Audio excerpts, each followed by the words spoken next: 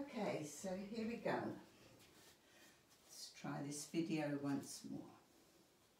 So we're going to start with our three minutes and then we're going to add the triangle sequence on the end of that necessary warm-up. Three stretches.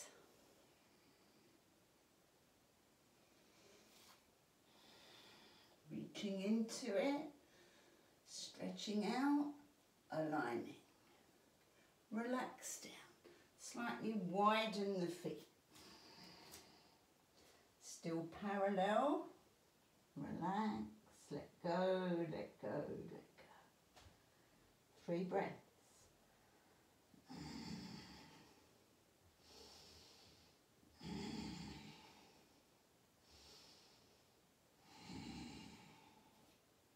Bend the knees, unroll. One bone of the spine on top of the other. Stretch up right arm. Soften left shoulder. Sorry, wrong way round. Lifting left arm, relaxing right. Relax over. Let go, let go, let go. Stretch out lift up, stretch up, release back. Other side, lift, stretch, relax, left side. Over we go, let go, let go, let go. Stretch out, lift, reach up, draw back spinal rotation. Stretch out, separating shoulder blades, spread wide. Turn to the right. Hips trying to remain facing forward. Little stretch out, back to the middle. And release. Other side, lift. Separate shoulder blades close them up. Turn to the left and stretch out back to the middle and release. Clasp the hands behind you, roll back the shoulders, called Yoga Mudra. Little edge out of heels, relax forward, straight back, straight legs. Let the head relax. Let the shoulders rotate. Let go, let go, let go. Two more breaths. It's giving the legs plenty of time to stretch and gravity to work on the spine, separating the vertebrae. Unroll head, shoulders, chest and lift. Straight back to come up. Back bend. Lift up. Reach into it. Now just relax now. To bring the hands together in the prayer mudra. The elbows soften and widen a little bit. Spine still relaxing back. Whatever level your spine is happy to go with. Straighten the knees. Lift up the rib cage. Stretch the arms up. Keep the head between the arms. And relax down. Feet bit wider than hip width apart. Toes turned out 10 to 2. Stretching forward. This is to strengthen knees. Stretch out. Bend the knees, point them same direction as the toes so you keep the alignment of the knee joints. Hinge joint doesn't need to twist. Let the head relax. Let the arms sweep up. Maybe bring first finger and thumb together, creating Karana.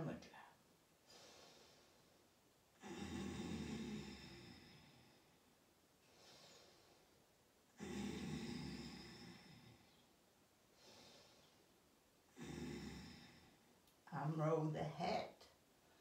Stretch forward with the arms, ease the weight off the tailbone as you stretch forward, push through the knees, imagine you're picking that football up and dropping it behind your head.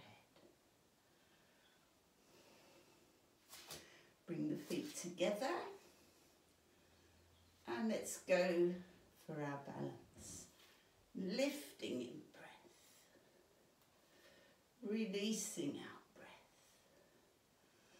Prana Mudra, little finger, ring, uh, ring finger touching the thumb, said to help with balance. Two more. These mudras that we're now bringing into our practice connect the energies in the energy body, creating certain circuits of energy that are health giving and invigorating. Last one.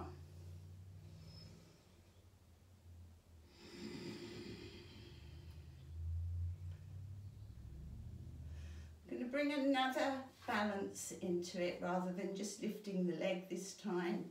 Let's stretch the arms up and draw the leg right leg up the left. This is called the tree posture. Stretch up, grow strong, tall, straight and lower. Try not to lose your balance like that. Try and lower just as slowly and controlled as you went up Stretch up, go tall, and release down. So now we come into the triangle sequence that we're going to add on. This is much stronger, similar stretches, but much, much deeper. So we're going to stretch out. This is a classic posture, triangle posture in yoga turn out right foot. Lift the rib cage. Shift out to the right. Now just lower right arm down, left arm up. Try and keep them in alignment. Don't lean on that right leg. Keep the palm in front of the leg. Both palms out. Three breaths.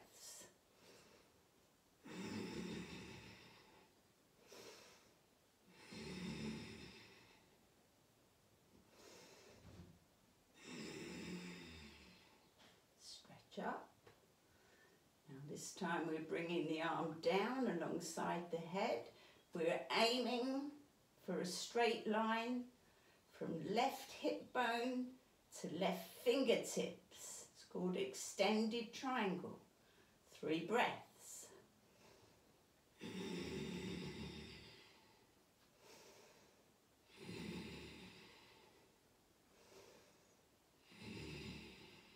Still no weight on that lower arm. Turn the head, look towards right foot. Let that left arm drop down. Rest it on the floor. If you can't reach the floor with the leg, right leg straight, then bend it so that you've got good contact and firm stability. Whole point about triangle is to give you stability and strength right palm facing. We're going to sweep that arm out. Keep your eyes on the right palm. Take the breath in as you start the sweep out. As you lift up to the ceiling, let the breath out. Three breaths.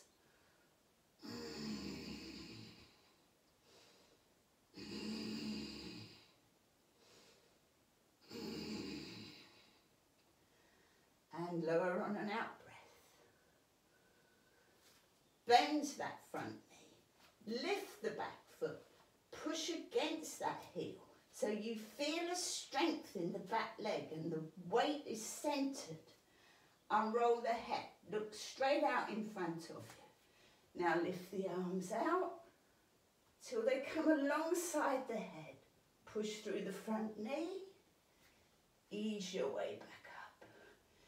Again, the three breath sequence, stretch up in breath.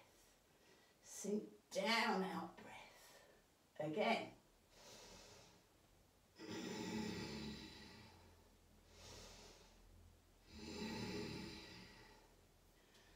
Stretch up, slowly straightening the knee.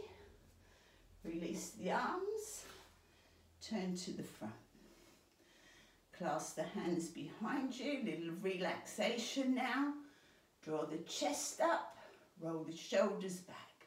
Straighten the arms if you can, helping to keep your back straight. Bending from the hips, forward bend. Let the arms ease over towards the floor in front of you. Three breaths again. We're doing a three breath sequence.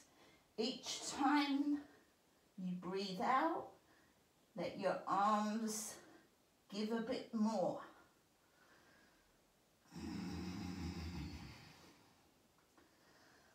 Unroll the head, shoulders, chest, so we're back to that straight line. Head in line with the spine, not tipping up. Push through the feet, slowly back up. Stretch up in breath. Turn out left foot. Nice soft shoulders, arms. It's as if you're resting on the air, flying. Lift the rib cage. Shift out to the left. Now slowly rotate. Left hand down, right hand up. Nicely in line, shoulders in line with each other, arms in line. Three breaths.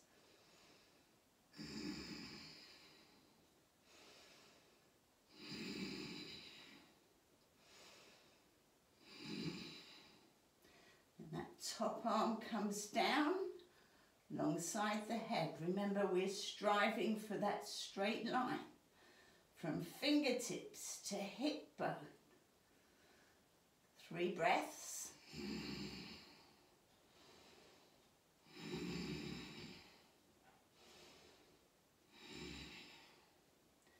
Slowly release down. Bend the knee if you need to. Hand on the floor. Left palm facing you. Ease out the back heel slightly. Breath in, sweep the arm out shoulder level. Breath out, take it up to the ceiling. And then do your three breaths once more.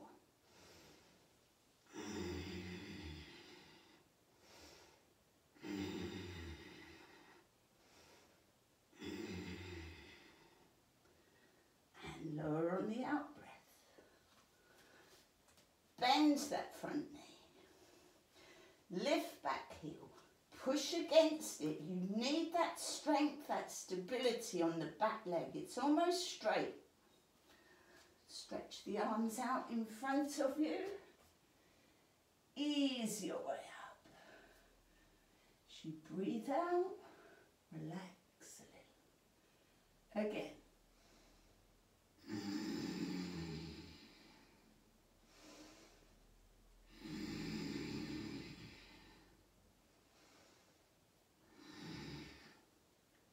Stretch up. Turn to the front. Release. Hands behind you. Roll back the shoulders. Forward bend. Three breaths once more. You could do a two breath sequence or even a one breath sequence. But the three breaths gives you a chance to really work into the stretches.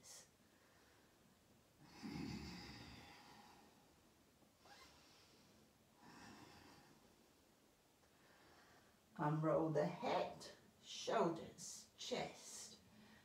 Let push through the feet, the legs, quite strong on the legs. Take a full stretch up. Heel toe the feet together. Turn long ways onto your mat. Take a full stretch up and just ease down into squat. Just nice and easy. Ease your seat down.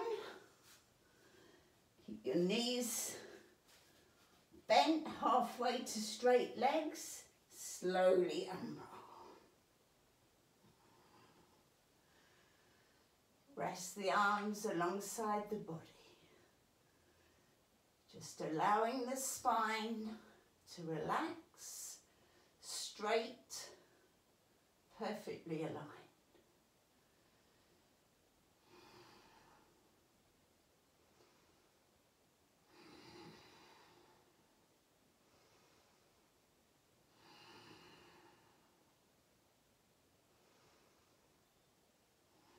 Just allowing the energy to flow. When you get used to doing your yoga, you can actually feel the energy flowing around your body.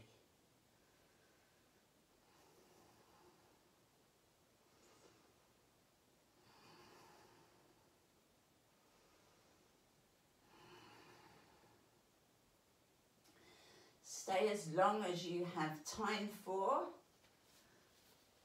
and then to finish, come to a seated position.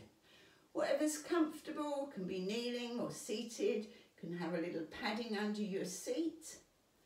We're just going to take a full stretch up, align and release. Once more, this time with Namaskara Mudra, so we're lifting Hands are coming together, prayer position. As you breathe in, feel the alignment of your body. Everything perfectly balanced. Come down to the brain. Take a couple of breaths to the brain as if you're blowing up a balloon. Taking energy to your brain equally, both sides left brain, right brain, in perfect balance. Down to your heart center, your emotions, deep feelings, your truth, your love.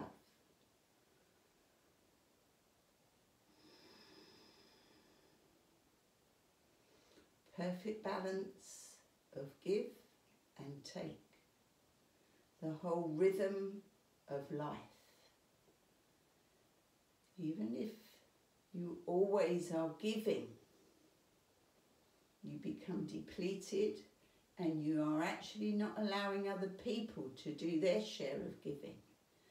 So that give and take, one of the great rules of living happily. Thank you everybody. Om Shanti. I hope you enjoyed the practice today. Thank you.